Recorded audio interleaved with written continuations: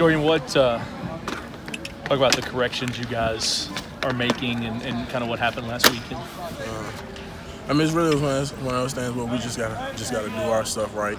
I mean, it's not really, we're not really gonna do that much different. Nothing. We just gotta do our stuff right. Was it mental things or was it more? Yeah, it was definitely just just focus. Yeah.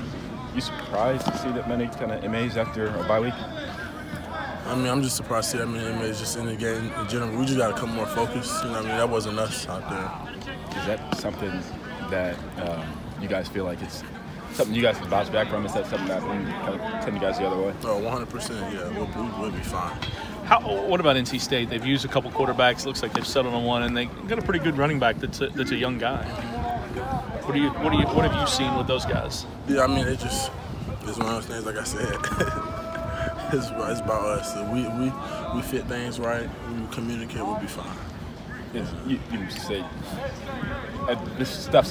This is about you guys. Does that game against Miami kind of show a little bit of you look well? Really, you look at Virginia and the Miami game. Does that show like when you guys played your best? What you guys? Yeah, definitely. That's what I'm saying. Like that, that, wasn't that wasn't that wasn't us.